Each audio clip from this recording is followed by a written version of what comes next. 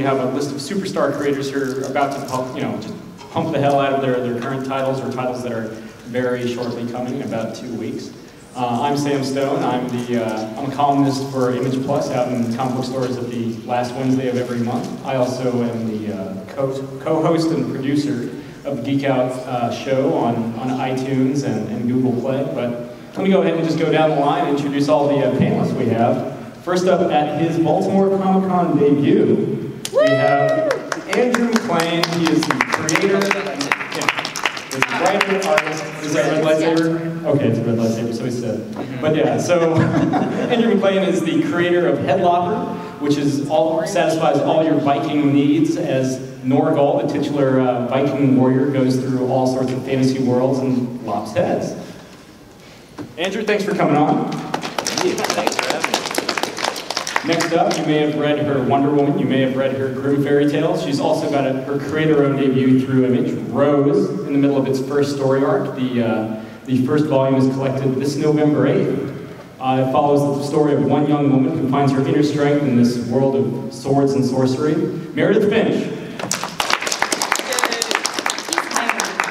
That's my elevator pitch from now on.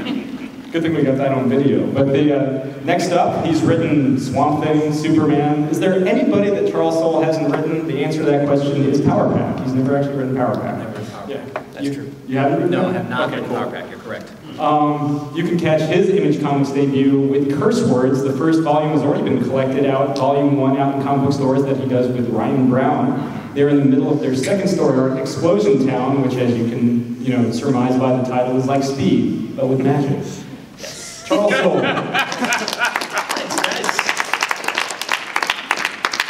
Next up, you kind of have a two for one. You've got Nikki Ryan you've got Justin Jordan. They're here to talk about their upcoming comic book series, Family Trade. So if you wanted a clandestine steampunk tale in an alternate world with a, in a floating city, well, they got just the book for you. Out everywhere on October 11th, also the same day that the uh, complete Luther Strode collection comes out. It's almost as it was planned. And you can also catch uh, Justin Jordan's work with Spread, which is coming to a close shortly this year as well.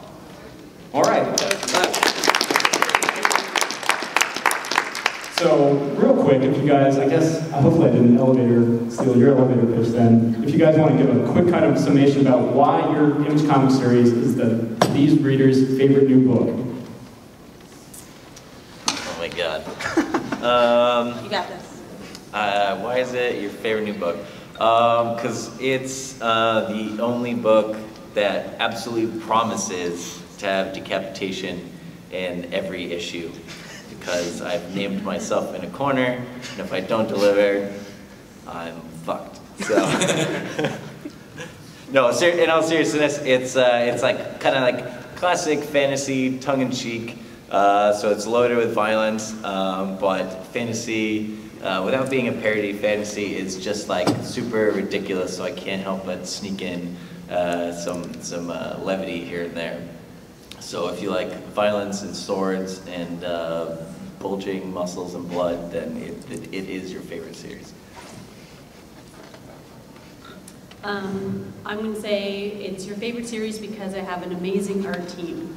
Uh, Ig Guara and Triona Farrell are the, the artist and colorist on the book, and I feel like the two of them have just elevated each other to create um, what I think is a masterpiece on every page. It just, um, the artwork is stunning, the world that they've created is so vivid and alive, and I feel like now, as a writer, it's just my job to be true to what they're putting on the page.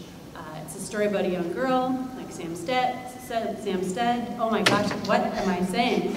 Sam said, and um, it's uh, a, a land of fantasy, much like yours, but maybe not headlopping and dark violence, because um, we are dealing with a young woman and uh, her coming of age story as she tries to protect her land and um, defeat the evil Queen Drusilla.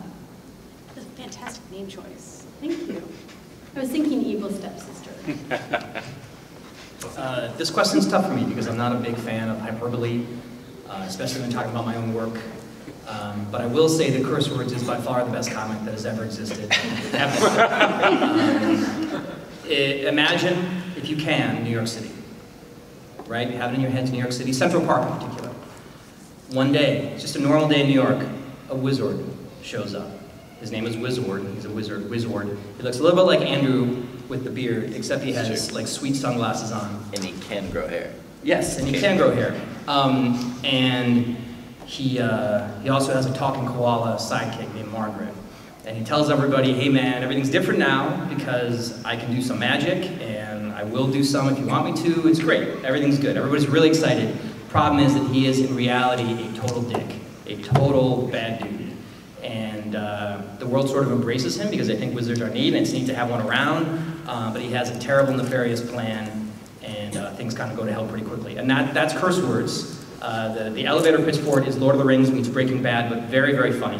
Uh, and most of that is because it's drawn by Ryan Browne, who is the, the funniest picture maker in the business, I think. Um, he's able to do visual comedy in a way that, like, I wish I could show you pictures from it right now. I can't. So just imagine that too. Imagine a really funny picture, and that's kind of like what Ryan Browne does. Um, but there's still a lot of drama in it. It's like it's it's a book that has a lot of there's a lot of darkness hiding right under the surface of curse words, but it's it's got this sort of sheen of comedy and beautiful colors and, and like vibrant talking animals in it. So you don't realize how dark it is until you stop and think about it a little bit, and then you're like, whoa, that was really that was super super grim. But that's kind of what makes it good. Um, I love it. Uh, we, we drove around in a van for most of the summer, uh, promoting it all over the country, and that was super fun. And you guys don't want all that effort to go to waste, so please check it out if you haven't. Oh, it's my turn. Uh, we have talking cats in ours. That's good. Yeah. Um, Sold. I have, I have cats in mine too, so. But do, I do, but is it your cats? No, in yours? but I feel like we're on a wavelength. I I feel- already like. That sounds right. Actually, my cat's name is Drusilla Troutman, the traveling cat. That's So it's saying. We were, um, so it takes place in a like weird little steampunk island that's man-made, and they have this kind of weird magic. It's almost like alchemy, but not quite, and only works there. So you can pick up stuff in this like weird little island of commerce uh, and bring it to other places, and it doesn't work. And uh, the main character is this badass chick named Jessa, whose entire family is assassins. And uh, as like the youngest member, she's just coming into her own, and she's not doing that great of a job. Yeah. Jessa, Jessa is very enthusiastic and she's just not real experienced yet, so she keeps getting herself into and out of trouble. Um, it's got amazing full watercolor art by Morgan Beem, which, uh, much like Charles would like to have images show you, I really would have liked to have had some. So, you know, you can see kind of the silhouette thing that we've got going on here. This is actually the first, uh, the cover for the first issue, so. It's uh, a world that I don't think you've seen anything quite like before. So if you're into stuff that's, you know, a lot of uh, fun action adventure in, you know, a way you've not really seen depicted, it could be your favorite new comic. Doubtful. I mean, come on. You already established that part. Well, I'm sure it's super good. I'm sure it's But awesome. you're totally wrong, though. Like, I checked the internet, I Googled it. I mean, we, we, You're do, we wrong. do have the notable advantage of not having Ryan Browne on it, which is pretty a big up for any book. Ryan Browne, if he were here. Uh, I missed it. I missed That's it. true. Even, even after the month in the van, I still miss it. Right. He's a good dude. Do you still have his scent on you? Uh, we tried not to get each other scent on each other too much. It was, I mean, it was like, it was the like a month in a van. Like, It was don't really hard not that to. It sort of choice. happened involuntarily, but we, you know, I don't. I had, I had the scent up here, that's for sure.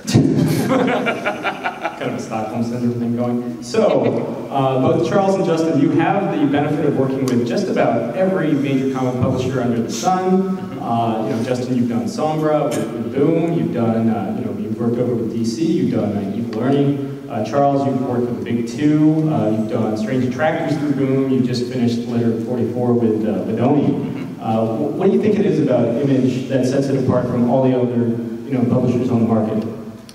Uh, Do you want to, I mean, I got plenty to say on that, but I'm sure you do too. Yeah, I mean, it's uh, the, the big draw is the complete and creative freedom of it. There's you can do anything you want in Image. Nobody says no, you can't do that, and that ranges from both the content of the books to even what the books are. If I wanted to do one that was like every page was a different variant cover with like chromium die cutouts and all that kind of stuff. Image would probably let we wouldn't make any money and they'd be angry after we went well into the red, but they'd probably say yes. Um, and you don't get that anywhere else. And it's the same thing as you reap essentially all the rewards of doing it creatively. If a book does well, uh, the creative team gets the vast, vast majority of it. And it's the same way if something goes to movie rights or anything like that, that's yours. Um, and it is yours to say yes or no to. So you can completely steward the future of a book. Um, and that's, you know, that's also a lot of pressure, but it is the great appeal of Image, is that they will let you do all that. And it doesn't hurt that Image books, uh, they have a reputation, so now they tend to sell reasonably well. So, you know, the money's good, oftentimes.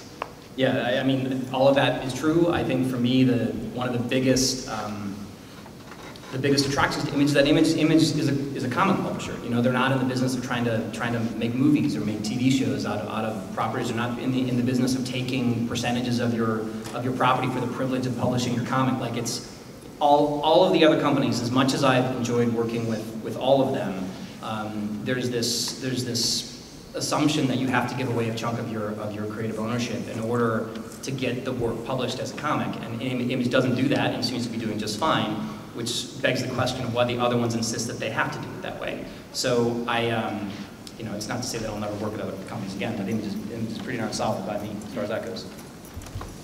So Andrew, you and, and Meredith, you both do fantasy books very deeply set in the fantasy world. Meredith, I feel like if there's any character that kind of speaks, mainstream character that speaks to fantasy, it's Wonder Woman, so you're very comfortable and you had done uh, Grimm Fairy Tales. What, what is it about that genre that really, that you guys really dig, and what sets your books apart from the rest of that genre? Um, well, I, I, I've always loved fantasy, even when I was a kid, but specifically with, uh, with Headlopper, I wanted something to be just uh, purely fun. So I, as much as I love, you know, say like the Lord of the Rings or whatever, that it takes its, Lord of the Rings takes itself like super seriously. And I wanted something that felt more like, uh, like when I was a kid, I used to love watching uh, uh like Arnold Schwarzenegger play Conan. I loved watching uh, the Clash of the Titans and, and, and anything Ray Harryhausen had really touched. And, uh, and that, those are the things, those, you know, those kind of fantasy movies from the 80s or like Krull stuff like that, made me really want to make a comic to like, yeah, Glaive. Glaive, right? yeah. exactly. And so I wanted to make a comic that kind of felt like that, you know, that was, um, that was like adventure, you know, more than anything.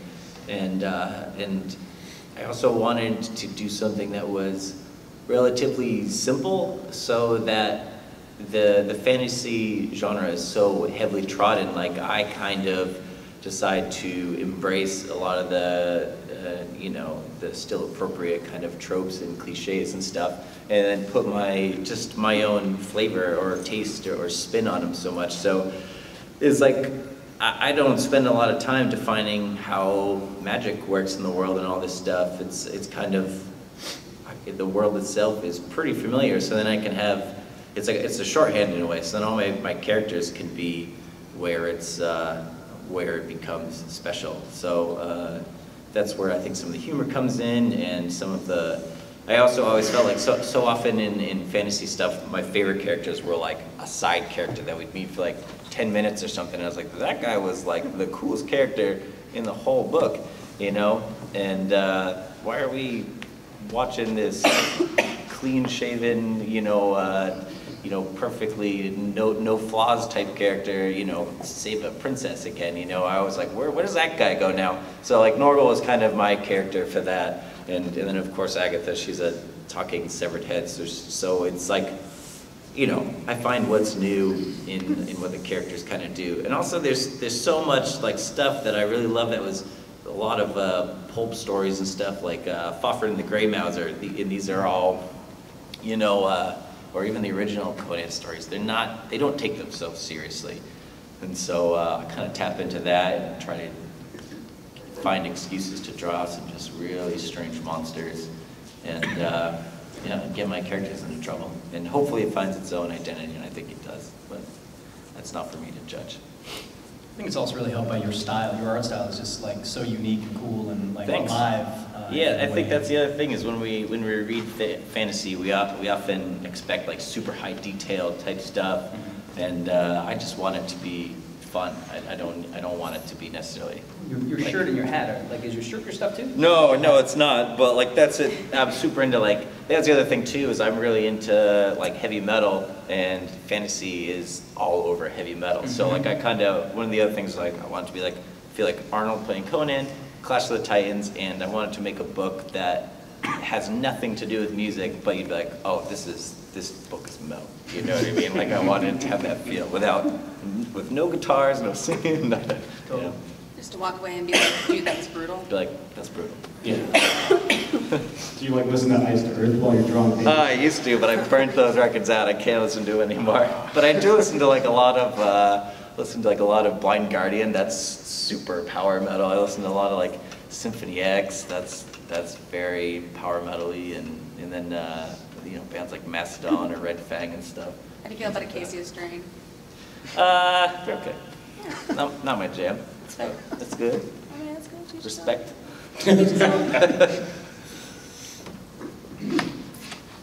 Um, feel like I'm in the wrong crowd right now. I don't listen to metal music. No, I have. I'm like, what are they saying? This like a foreign language right now. Listen to other stuff. Let's talk about other Dave would Me know. too, Dave yeah. would. Dave would know give all about it. But Do not, not, shut up, Justin. Shut up your face. I'm, I'm writing fantasy because that's what what I grew up reading. And um, David would constantly push comic books at me, and I'd be like, it's not really my thing. Which is, I think, why um, getting into comics through writing Grimm's fairy tales was a really appropriate way for me to, to start my career because that's kind of, it's really what I love. And Wonder Woman, when I think of what character I would have written other than her, I can't think of one, simply because she, I really, we really approached her from her Greek mythology and the fantastical aspect of her universe. And one of my favorite things about fantasy is that it's not a one and done. As a general rule, you get these huge, Robert Jordan, I think he wrote 12 books or something like that, and each book is like uh, 10,000 pages. Like they're enormous. Yeah, Yeah, the Wheel of Time. I love. It. Yeah, me too. Those are my favorite books to read because you really get to know the characters and and, and you invest in somebody. You don't want them to be gone at, in one book. And once I was in comics and I was writing, and I always thought I would write a fantasy book.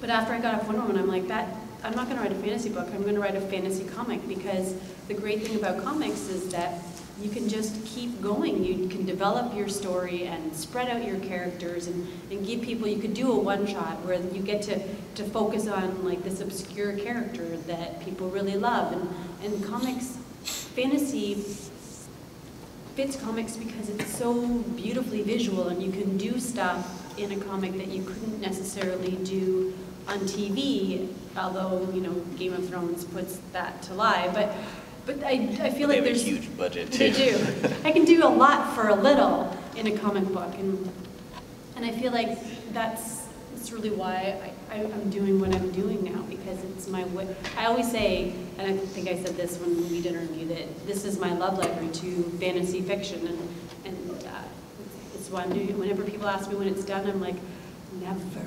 I'm never going to be finished because the idea of fantasy is that you can just keep getting deeper into that world. Now, Charles, with your previous two uh, creator-owned books, Strange Attractors, Letter 44, they were very science fiction. You know, uh, aliens, uh, crazy math, apocalyptic math.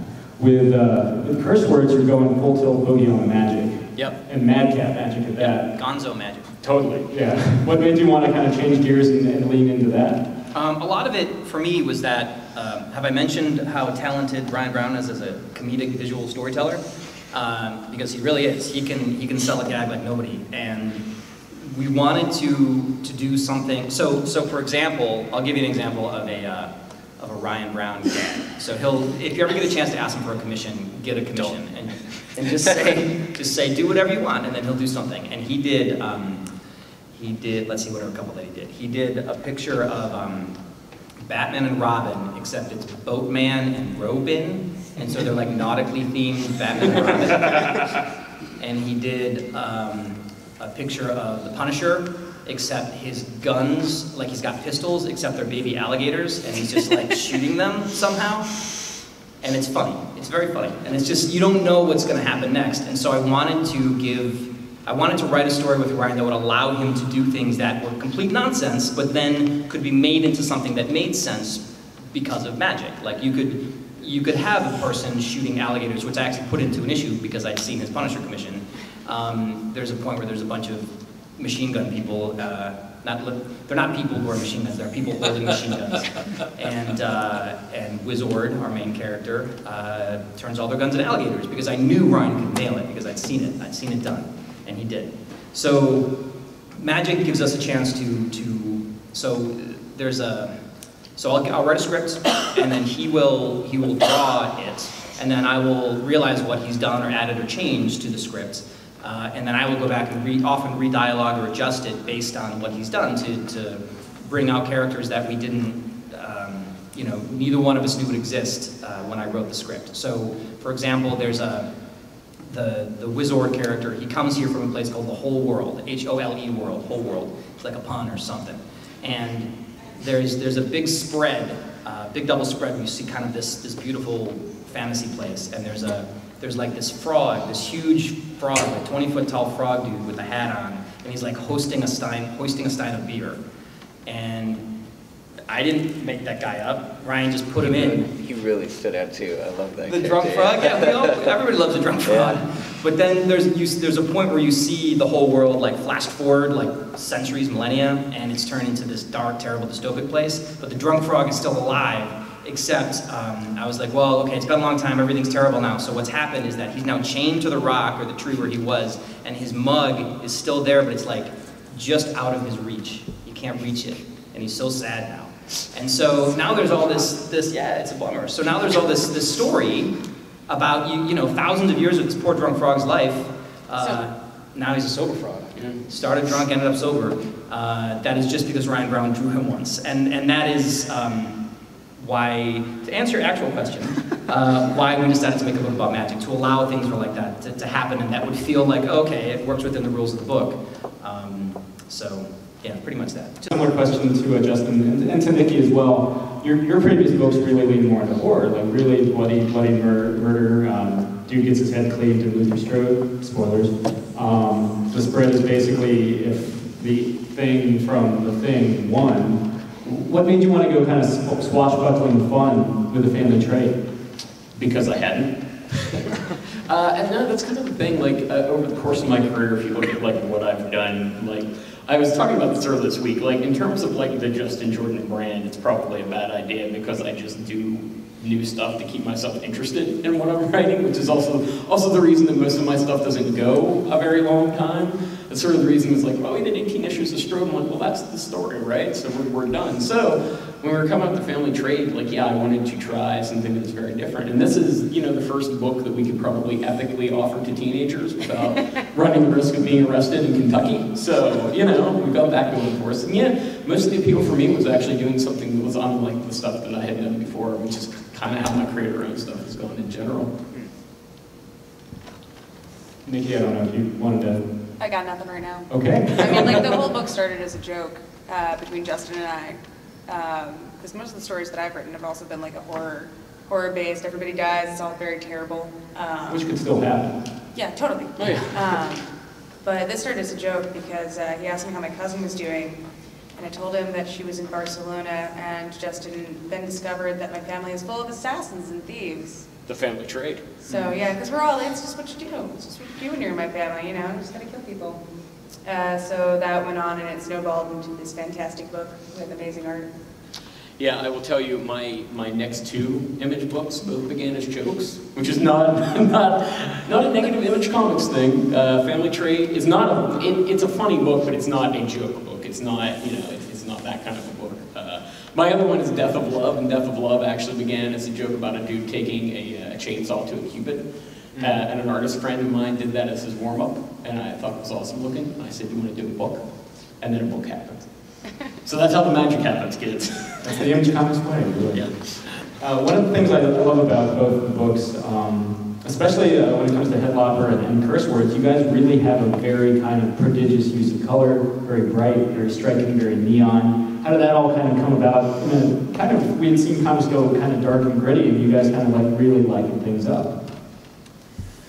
Um, for me, the um, well, the the first Headlopper arc is very. Uh, it's all kind of set on an island that's kind of based on Scotland, so it's very green, very gray, and muted and everything. But a lot of the a lot of the art that I like is is brighter colors, and uh, so when I when I switched to the the current arc where we go I designed it. It's very video game inspired, but I also so I got tired of drawing gray and green and rocks and hills and stuff. So come the second arc, I designed a world where there's much more magic, so I can basically do whatever, draw whatever I want. Same kind of idea. And so there's all these like kind of like gates and these portals and stuff, and, and a series of trials. So each time someone goes through a door, uh, they're in a totally kind of surreal fictional place. Because I was tired of drawing uh, our planet.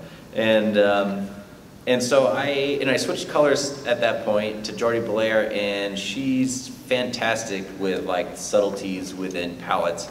And so each little world is uh, the, the kind of like, the reason they go through is they need to go very fantasy style. They need to, each world has a crystal eye to, to like a big stone automaton, and they need to get there's four heads to this automaton, so they need to get all the crystallized. So each crystallized a different color, and so that world is themed this color. So I was like, Jordie, let's this world, this behind this door, it's a blue world. That, that behind that door is an orange world or whatever. And so I knew Jordie was great with subtlety within themes and palettes, and I wanted something that was bright and surreal and, and like psychedelic. And so we, we ran with that, and it, it stands as a nice contrast to uh, magic was much lighter in volume one of Headlopper than in volume two. So bringing all that magic and having a more psychedelic world really, and then having Jordie really lent itself to having brighter, more psych psychedelic colors.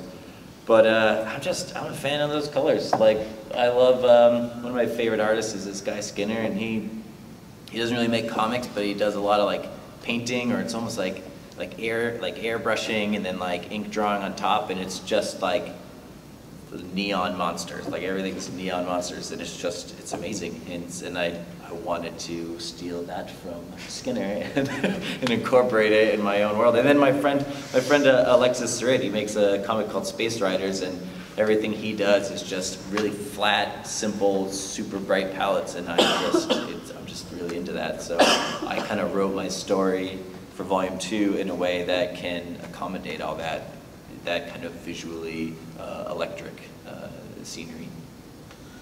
It's pretty similar for, I mean, Ryan Browne uh, handles the, the, the, art on, on the book. Um, we've had a number of different colorists, but uh, the, the final pass before it goes to press is always Ryan going over and, and, and repainting, like doing touch-ups. And usually what he does, there's a, there's I don't know, so you're you're the art person, so I'm going to ask you an art person question. Shoot. There's like a little thing you can do on Photoshop to like crank it up, right? Like there's a little dial. So he just basically takes the dial and goes. Um, yeah, you can turn up like the saturation or the. Yeah, he says that word sometimes. I think that's that, that's one that's of them. um, yeah, he tries to explain his techniques sometimes, and there's things like color holds and spotting. Like there's all these terms. I don't know. Um, so but it, it's also it's a, it's a magical, it's a, it's a phosphorescent uh, psychedelic world that, that has a lot of, of, you want it to feel like a very heightened reality, and color is one of the many storytelling tools you can use to do that. Uh, we also play with a lot of um, you know, like fantasy tropes and curse words, and one of them is the idea that there are there are nine evil wizards. Wizord is, is one of nine. Uh, there's also a hog named Botchko. There's um, there's a little kid named Silly Bee. There, there's a bunch of them. but they each, uh, they each are powered by a, a, a, different gemstone, and they each have a different color associated with them. So Wizord's color is blue, he likes sapphires. Uh, his, his ex, Ruby Stitch, uses rubies. Uh, Botchko the Hogtor uses chocolate diamonds.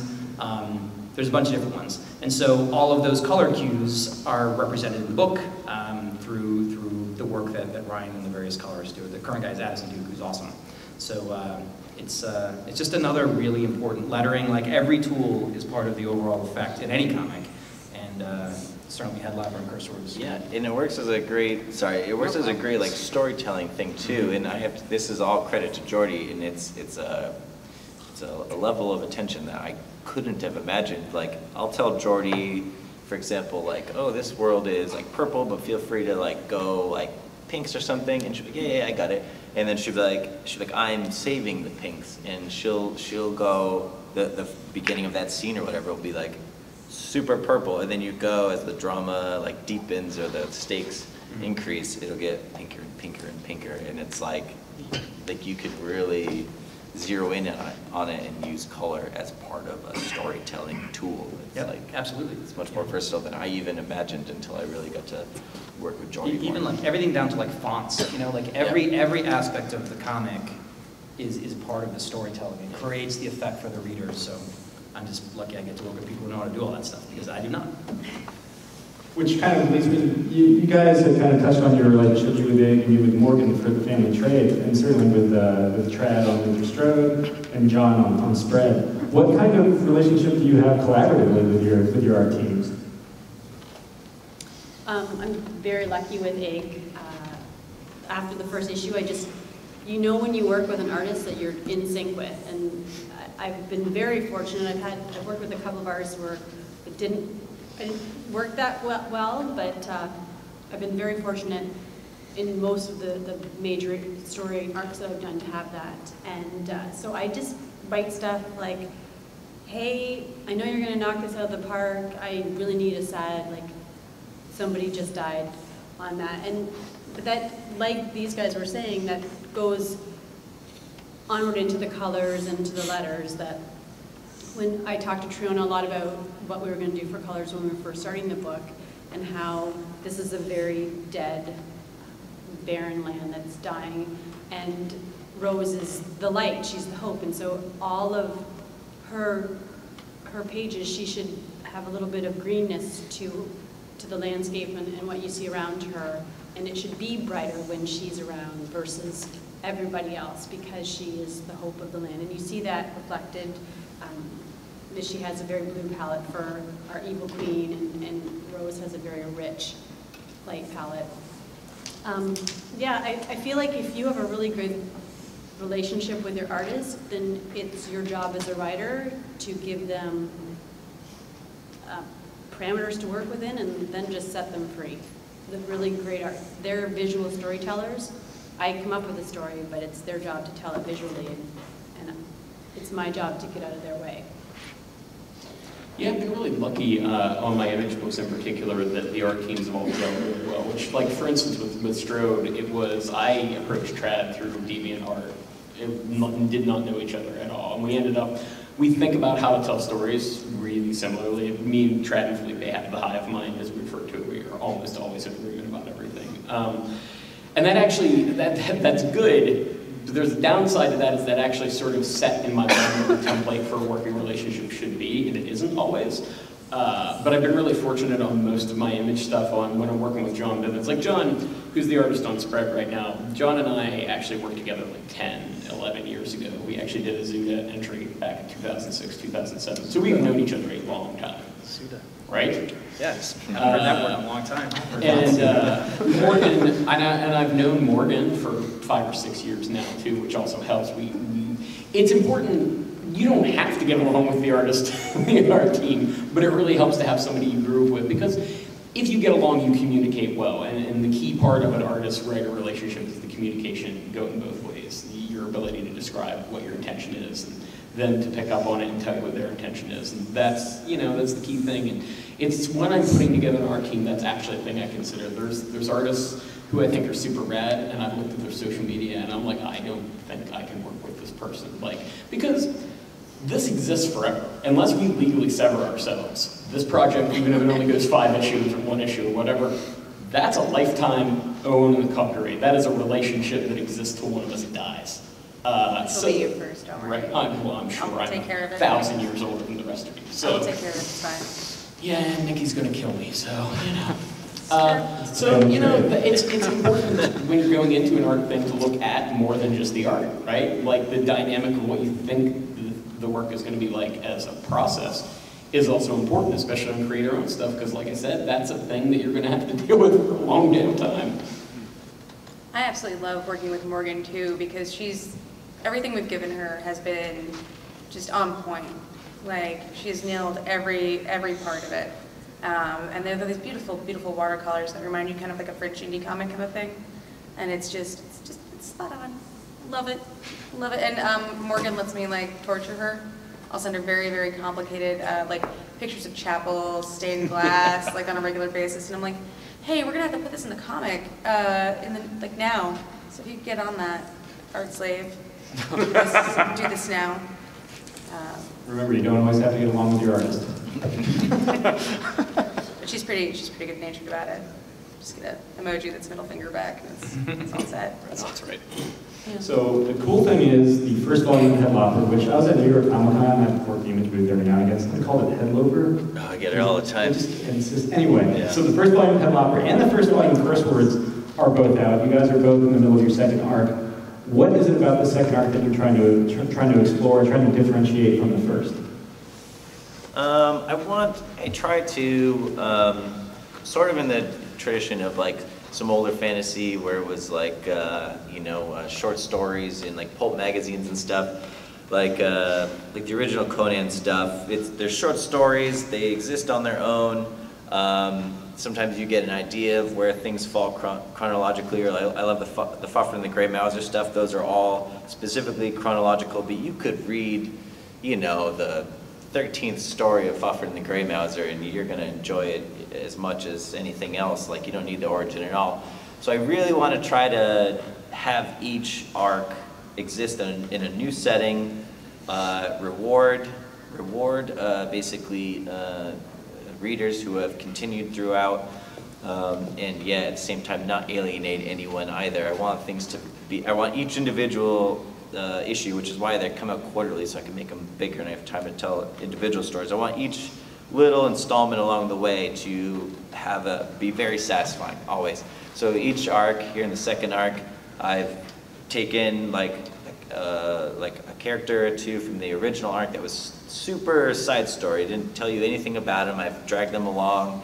And so where we didn't learn anything before, but we met them, you'll be rewarded in the second, uh, being a continuing reader, uh, but you don't need that. So I try to do that and visually change the setting altogether, introduce new characters. Again, just, I want it to feel episodic that builds up to something else, partly for, I just know how I am with a reader, I can't remember everything a character ever said. And, uh, and also, I just love that about some of the uh, kind of pulp fantasy stuff. So there's always going to be, hopefully, a big, a big change for each arc.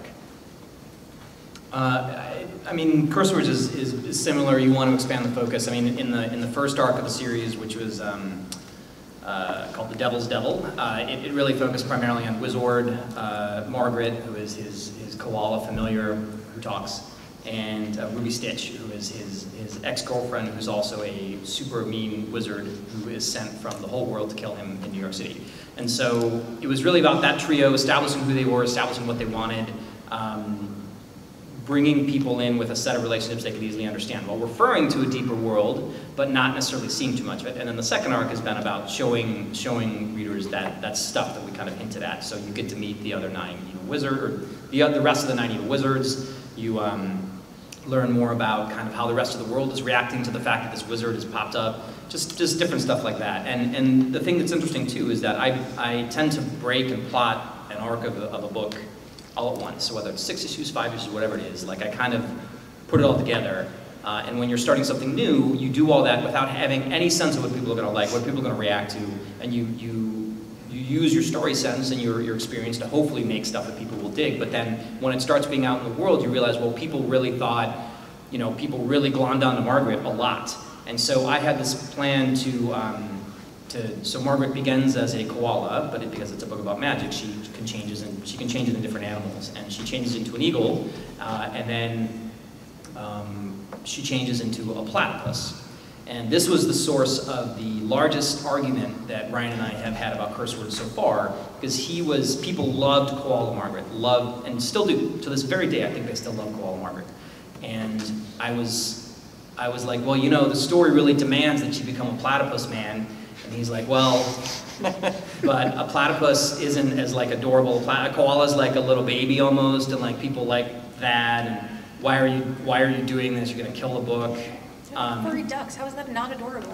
that was I. thought He so. was wrong. I also think that there's um, there's value in well. And that one of- poison claw. Well, that's the thing. So the poison claw. Uh, it turns out that uh, female platypi or whatever platypuses don't have it. Well, they have it at birth, but as they grow older, they lose it. It's like a puberty thing. Right. So they don't they don't have it. And but I wanted it because I was gonna like write action sequences revolving around the poison claw. Mm-hmm. So technically, now Margaret is a transgender platypus. I think. I don't know. I mean, magic. Magic. That's just, you explain the poison claw away that way, like, Yeah. magic. I haven't- can hi- Maybe she hides like a little poison claw in her pouch. She's a marsupial. Yeah. Anyway, whatever. Little box. The, the, the point is that I was pretty sure that it would work, that it would work to change a, a, a beloved element of the book into something else, let it evolve, let the story send it somewhere else. And we really haven't gotten a lot of, you know, hate mail about it. A little bit, sure. People, people send hate mail about like anything. So These days. yeah, these days. So it, but it, it, you know, I think the story needs to go where the story goes, and, and you need to let the story tell you where it needs to go. And in this case, it, it definitely was saying platypus, no matter what Ryan Browne thought. And guess what? She's a platypus. Yep. Winner take all. So speaking of, of uh, cute elements, both Rose and uh, and the Family Trade kind of pr- prominently featured felines. What was it that made you want to kind of throw in that uh, that element into both your stories? We got to put Well- our cats in our book. Yeah, I have a cat who's probably more famous than I am at this point, so obviously I needed to capitalize on that. I, I gotta keep her fed so she can start pulling her weight by the end of the comic book. He actually has a tip jar on the table. That's the Tom Waits tip jar, and literally has made more money than him this weekend. That's true. Tom, Tom is out grossing me this weekend, just, you know. But she's the brains of the operation, so it works out. But yeah, it was just that. It was just, I could, and it was, you know, we could, and it was an idea. So in the family trade, Toms are intelligent, but they speak cat. So you, you, Jessica does not speak cat. She's the only person in her family. She speaks like eight human languages, but she can't speak cat. It's the only one she can't quite. The only one she can't grasp. Uh, so on this island, the cats are actually like the spy network, and they're involved in everything because they're everywhere. Uh, so it, it served a narrative purpose that was kind of cool and kind of different to uh, have talking cats, although the reader can't understand them either. You just get the other human side of the conversation. Um, so we thought it would be, you know, that would be cool and be something that would distinct, uh, make the book more distinct from, you know, other books. So, and, and we could put our cats in it. Kind of the same thing for me. Um, the, the book originally started, um, Dave did some Noman DVDs um, years ago, and the, the, her familiar was going to be a mechanical horse. And I was kind of like, "Oh, I don't know, I just couldn't get behind the mechanical horse. I love horses, but it was metal and it wasn't very warm, and I was, then I was like, oh, maybe I'll do dragons, because I love Anne McCaffrey's Dragon Riders of Pern series there's this like show out right now that's got a white-haired girl with a dragon. I was like, do that. Now people are gonna think I'm copying. It's like, well, what can I do? And um, Robin McKinley did a book, um, Forgotten Niece of Eld, and I was rereading it at the time, and there's a couple of cats in that book, and I was like, oh my gosh, that's it. Like, I love the idea of, because they're feel cats have this to them that I think works really well and, and, and you don't want to mess with them. And I felt like that actually ultimately ended up being a really good balance for this naive young girl to have this great big huge, and I was like, I described to Ig, I'm like, I want saber-toothed tiger cat, like I want him to be bad, like a badass cat. And so that's what we have. And cats are amazing. They are. It's a- I'm always more of a cat person. Dogs are fun. Well, Anyway. my cat always tries to like kill me at night. Like she'll sleep like right on my neck, Mm. and sometimes she'll just like slowly start to like slide the pillow over my face and hold it down. so And she's like, she might be trying. She, she lulls you with her purrs. But you would die happy. I would. I would feel like very, very comfy because the bird is there. Yeah, Just- it comes from a place of feline love. so I, I feel like this wouldn't be complete if I didn't go down the line and just ask, what are you guys geeking out over? Um, I'm geeking out over. Uh, I can't. I can't stop. It's, it's really bad. Uh, I can't stop geeking out over uh, Miyazaki's uh, Nausicaa manga. I uh, I read it earlier this year. I hadn't seen the movie. I read it. Fell in love. Watched the movie and then pretty much uh, just started over. I just the current arc, and I can I can tell there's at least one monster that I'm planning for the third arc. Like, that is so Miyazaki. I, I can feel it. I, I can't stop thinking about that that comic and that manga. You know, it's, it's just beautiful. I'm geeking out about the fact that my kids are finally back in school, hmm. actually. Because I could not, well, I'm sorry, I could not work all summer long, and so this whole month, I'm like, the kids are back in school, the kids are back in school. I, I have no time to be reading comics and, and watching TV right now, because I just want to get my own book out the door. And then the kids out the door. So Now that they're out the door, is there, Now any- that- is there anything that you kind of glommed onto?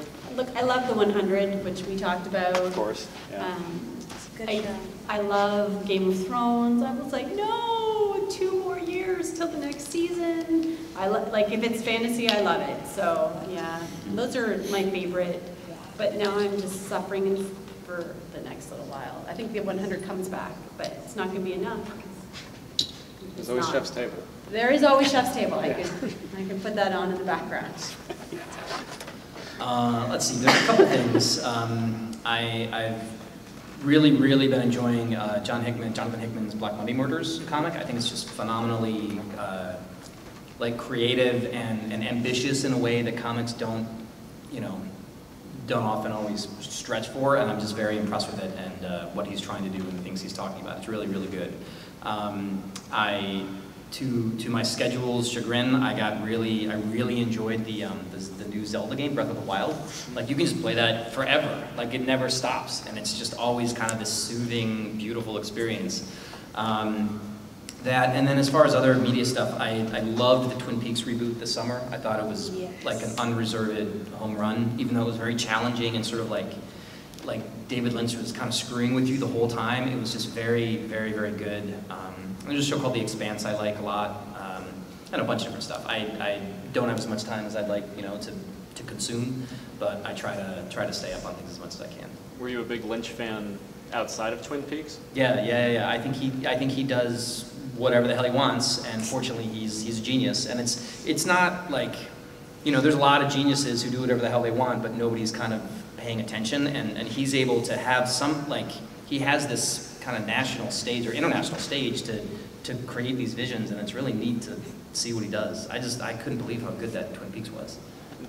We should probably, you got a novel coming out soon too, don't you? Uh, yeah, my first novel is called The Oracle Year. It comes out in April um, from HarperCollins, which is very cool. It's like a big, real deal book, hardcover, everything. Um, it's about a guy who can see the future and the way that the world immediately goes nuts when a guy who can see the future pops up, who actually can do it. Uh, he starts selling predictions, um, so that throws governments and religion and pop culture and everything into complete disarray. And so the book is sort of about both, both the way the world reacts to kind of being able to sort of know the future, and also uh, this guy and who he is and why he's doing it and how he knows what he knows. So um, I actually have a preview of the first three chapters, like a little booklet, uh, at my table in Artist Alley this weekend, table 24/7. If you want to swing by, I'll just give it to you.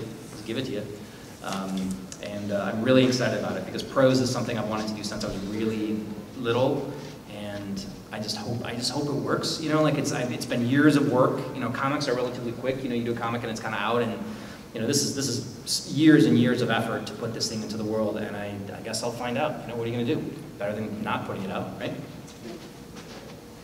Uh, I just recently discovered a podcast called uh, Wooden Trench Coats. It's about two competing funeral parlors. Uh, but pretty much all I do is sit around and watch Netflix and Hulu. So there's just like a list that no one really wants. Anything in particular on Netflix and or Hulu that you've been? Um, I found a very fantastic Australian sitcom called Late. Uh, this girl, anytime she sleeps with someone, she finds out all of her ex-boyfriends are dying uh, systematically, and she's trying to figure out why she's like her vagina has been cursed. So does that make her want to sleep with more people? Uh, she tries to sleep with the guy who can heal people with his dick. Um, but he looks like a weird version of like a zombie Heath Ledger.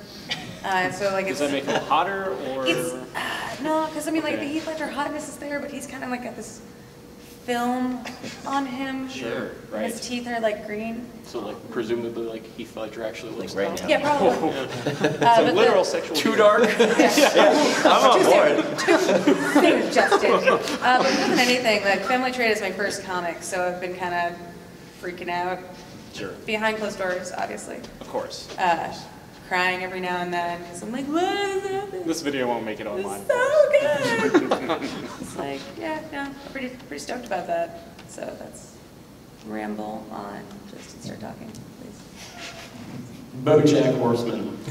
Uh, I made the mistake when I, so when I first got into BoJack Horseman, it was the first three seasons were already out, and I made the mistake of binging the first three seasons. Which I don't know if you've watched BoJack Horseman, but that is playing Russian roulette with your own life because it is a soul-destroying show, and watching it back to back for three seasons is just going to put you into a spiral. But um, this last season of BoJack Horseman managed the impressive trick of being depressing in a completely different way, uh, and it's amazing. It's a you know it's a show with, which features talking animals mixing with humans, and it manages manages to wring more pathos out of what's going on and be a more true portrait of what depression and self-loathing is like than almost anything else that's coming out right now. It's, it's sort of amazing in the depth that they get, especially if you've watched the show in general. The first three quarters of the first season are all right, but they're not BoJack Horseman. That's all I've watched, actually. I Yeah, just Right? stopped. I- I Once you get past yeah. that, though, there's this goal. Really? Like, Alright. yeah, like, if, and that's why I didn't watch it initially. I was like, Yeah. well, whatever. But then people were like, no, it, it gets really good, and it does. Um, and, and so this last season, you get to this point where usually in every season, and this is kind of a meta spoiler, the next to the last episode is like the heavy hitter. It's the one that'll devastate you. Uh, Game of Thrones does that too. Their big action episode is usually the last one, the one before the last of the season. This one managed to do a thing where it recontextualizes everything you've seen in the season to date. Like just the cohesive writing of it was really impressive from a craft standpoint. I was, I wanted to watch the season. I haven't had time to watch the season again just to see what they had layered in there. Because A lot. yeah, once you get it, right? Netflix all the time. That's all I do. Once you get it, you're like, oh, oh, I didn't understand a whole lot of stuff that was going on. It's a very good sleight of hand. So I've been mildly obsessed. Rick and Morty's kind of like that, too. Oh yeah, Rick and Morty's great at it. Like way more than it has like it really should be, and then Yeah. you're like, holy Yeah, fuck. It's and- unbelievably. This season Rick and Morty is a way better Like, show than it should be. It got really dark really quick there too. Like Yeah. Nine Inch Nails hurt like playing. I was just like, Oh, yeah. oh. So do you That, have to, do that you, Rick Lannis episode? do oh, you, Oh, do yeah, you that's have to way watch an episode of BoJack right after you're done, or do you have to like emotionally cleanse and then jump into the next one? No, this time I was able to uh, able to power through, and I watched it over like three nights, which was probably wise. But it's one of those things where like I've always joked that if you watch like Requiem for a Dream and then Grave of the Fireflies, it's just a suicide You might as well solution. just watch Angels yeah, it's, it's just a brown note that just destroys minds because they're just too depressing. And BoJack Horseman's kind of that way because at some point in the whole season, you're like BoJack, no, because at any point he's almost a good person. And it's the almost that makes it tragic. You're like, oh man. Now, uh, I guess to kind of close out, uh, do you have a question or? Yeah, but you can finish your thought. Sorry. Well, I was going to say, um, does anybody, uh, I was just going to have everybody go down the line and say what table number they're at, so these fine folks can, can find them and check out their wares. Uh, a, a nine, I don't know, two, nine five oh three maybe, or maybe two five oh three. That sounds He's, good. he's right across from Iron Fist. Yeah, I- I'm right across from uh, like the the uh, photo op booth. Oh, is it? Is that who's here? Yeah, well, the Iron Fist isn't the. Finn Jones? Yeah, is Finn Jones here? That's what I heard. Yeah. Oh, I thought it was uh, Colleen Lynn. It They're both, both. Oh, oh, that was wrong. Yeah, Iron Fist is here. Cool. I'm right across from Iron Fist. That's all, I, that's all I know. I don't know my booth number. But I know that Finn Jones is signed. They're right there in front Have of you me. seen him? No. Oh, okay, all right. You best. Uh, I'm in booth 2407. 2407 is the comic sketch art group. Because uh, it's which comics actually- Charles has got me. He's got my back. I'm with Charles. Yeah. Uh, so you go there. We're not we're not far from Iron Fist. Um, so if that's how you orient yourself, that find Iron That's your Fist. anchor. We're not that far. That's your anchor now. But, uh, but yeah, there's uh, lots of curse words there. I've, I've got every issue, issues one through eight, the trade, the beautiful Van Tour hardcover, lots of stuff. We're table 111. We are, we are as You're far as you nowhere can get near from Iron Fist. Fist. Yeah. at Basically the opposite side. Same like general area. Budapest? But on the far end. Yeah, yeah, we're in a weird comic book common purgatory. There's like where this little We're void facing a is our- wall our and there's table. print walls on either side of us, so it's like a Can't find dungeon. Greg Pak's there though, so you're not like completely. That's true. business. Yeah, I got Joe Eisma beside us, so he's, you know, he's in comic jail with the rest of us. Yeah, he- that's- So I, I guess we got a couple minutes for, for questions if you guys have any before we, you know, yeah. Bam. Sure. So, um, like you guys were talking about how it can be fun to play in other people's playgrounds. You guys have done it. Um, but what I like, what I love about Image Comics is that um, you guys are so free that you do these crazy things. Like, who would have thought, hey, let's make some cops that police a world where chicken's legal? Who would have thought, like, let's make She's a comic book back. where when you orgasm, time stops? Like, that stuff is like insane, but it all makes sense like within the context of the book.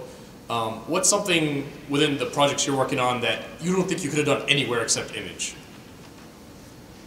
Oh, I, I think with Family Trade, there's probably zero chance that we could have done a full water comic book with uh, talking cats. That's that's a hard sell. And Uh, glowing fish. and glowing fish.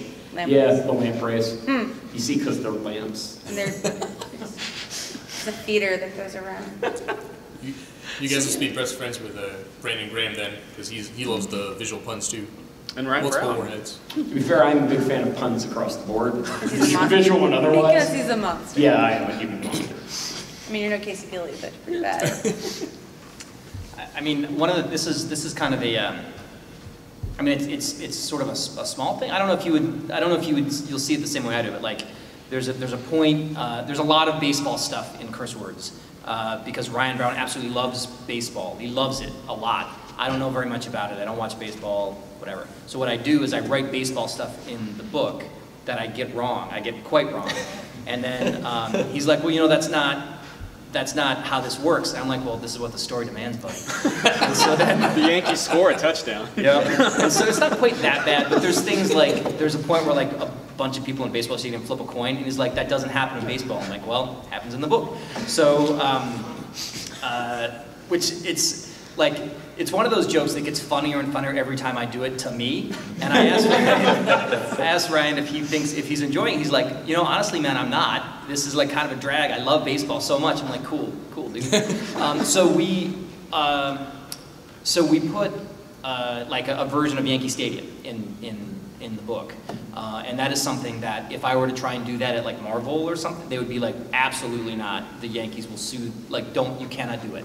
Uh, but because Image, like it all, it's gonna just land on us if something bad happens, like you can do it at Image. And so I did everything I could. I renamed it Northerners Stadium, uh, relocated it to uh, a different borough, did a lot, but it still looks like Northerners Yankee Stadium. Stadium. Northerners, Yankees? Yeah, Get it? yeah, that's, yeah, that's clever. I hope so. Good. There's a, there's another part where they go, there's a football game, um, and the team is the New York Airplanes. It's like the New York Jets, it's the New you. York I hate you Airplanes. so much. So, yeah. You were platypus friends, but now it's over. I thought we had something here. Boys and claws. Um, I would say the single biggest thing I'm able to do with my book is I just don't have to turn anybody, anything into anybody to get approval. Like, I don't have to re, pre-write anything. I just sit down at my computer and if the story tells me to go in this direction today, that's where I'm going. I don't need to have I have no hoops to jump through, and that it's my favorite thing. I'm just like, what, I what we're gonna do today. I have no idea, but we're gonna find out. And I love that about Image, that I can just have freedom to just do whatever I feel like that on any given day.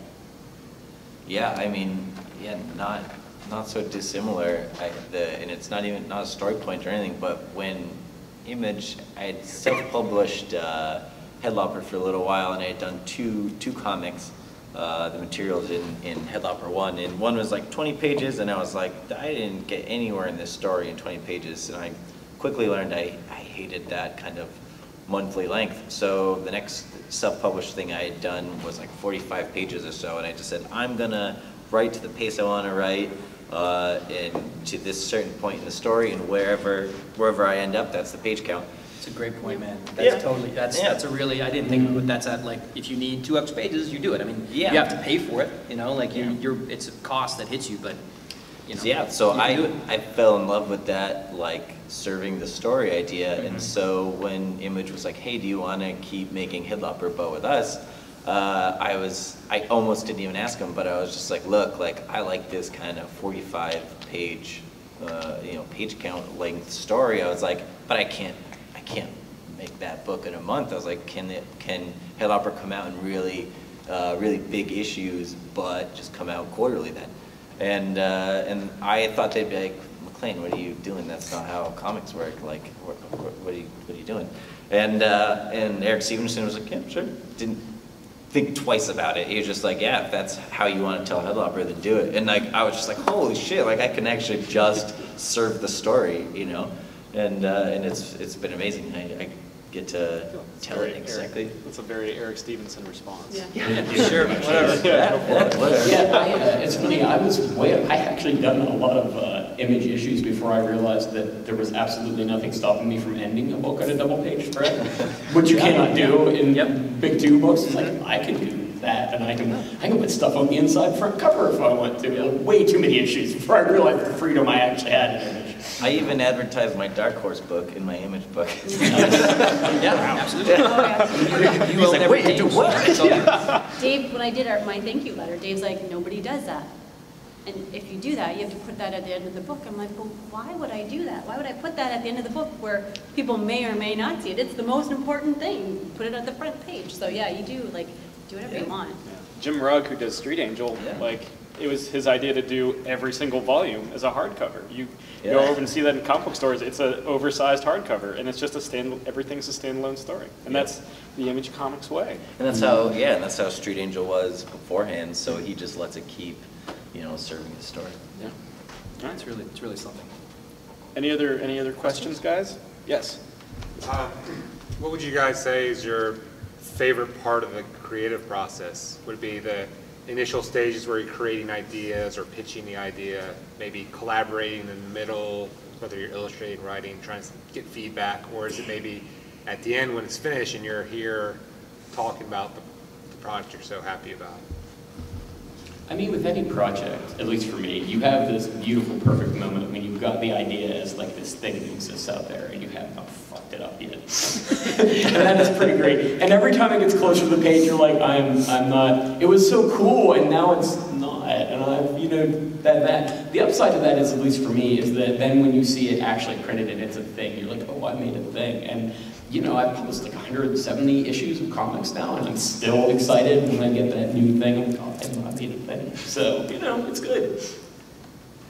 Uh, I think my favorite part would definitely have been when uh, we got approved for it. That was awesome. And uh, getting the proofs from Morgan, like uh, getting to see like everything actually like put out and not like stupid looking. Like it doesn't suck. Um, and it's like something I can like show my mom and be like, see, look, I can be cool. um, and the world building, like to come up with things that like no one is gonna give a shit about in like five minutes, and like the only person who's gonna care is me. Like I enjoy that a lot. Uh, Mine, so, so in the production, the way Curse Words happens is, so I write a script first, then Ryan um, draws, draws all the pages, and in, for issue one, he showed me like layouts, and we kind of talked about it, but then he doesn't do that anymore. So I don't see it at all until, it, until the inks are completely done. So he gets a script, we might, you know, we'll talk, we talk all the time, talk almost every day. Uh, but he, I don't see it. I don't see it until it's done. And he sends it to me and he's like, okay, this is it. Now it's time to do a, a lettering pass. So I'll, I'll do another pass on the script to give it to Chris Crank, who does the lettering on the book, who's awesome. Um, and then after, so Chris then sends it back to me. So that's the first time I've seen it as a comic balloon. It's usually not colored at that point. It's black and white art with balloons in. And then I'll do a, an edit pass on that. And that part is my favorite part because that's when I can really be like, okay, this joke works, this joke doesn't work. There's another way to do this line.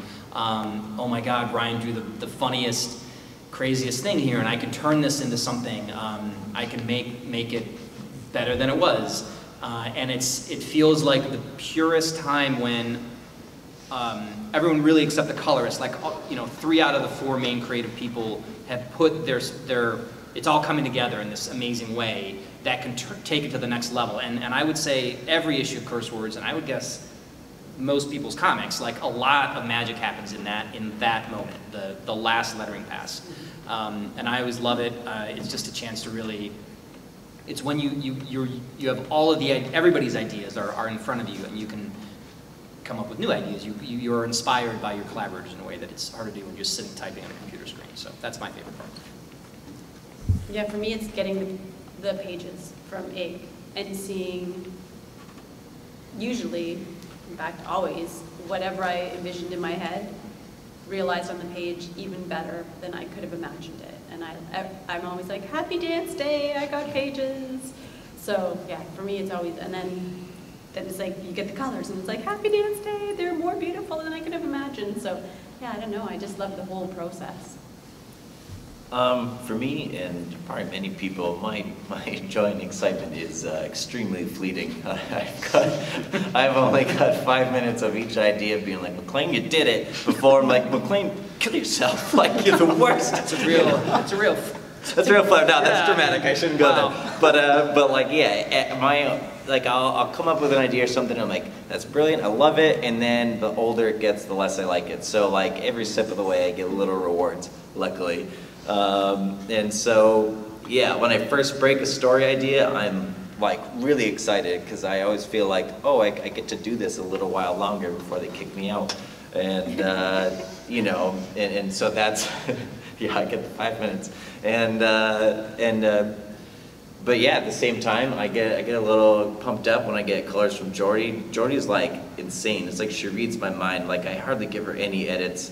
Like the pages will come in, and, and like honestly, if I'll get something that's even just a little not quite feeling right, I'm like hmm, and I'll just sit with it and I'll watch, and it's really insane. Like I'll see that file pop out of my Dropbox, and like pop back in, and um, and somehow she's like put new magic on it and then i'm like oh my god like she's like makes makes my comics like comics you know so then same thing like then when it's like the letters go on i'm like oh this is a comic so every time that you feel like you you've uh, or every time I feel like I've made something, I get a little like reward, and each one of those little rewards gets me through the the self doubt that pretty much everyone feels. I feel like.